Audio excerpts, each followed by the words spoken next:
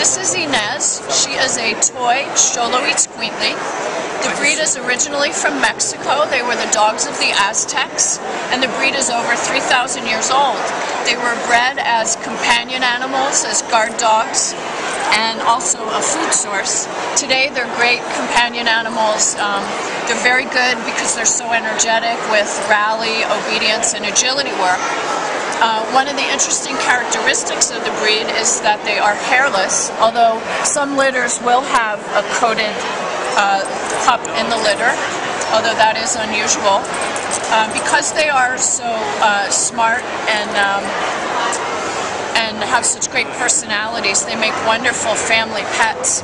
Their um, their skin feels very warm to the touch, and um, they love to cuddle and watch television and uh, just be little love bugs.